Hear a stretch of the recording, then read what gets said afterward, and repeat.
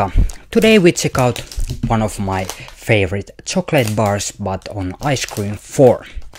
So when I saw on the market this uh, ice cream version of Bounty, yeah, I just have it immediately. Because Bounty, it is the best. So let's open it. Let's have the smell. Bounty, but what about the flavor? Bounty or coconut ice cream with chocolate covering up.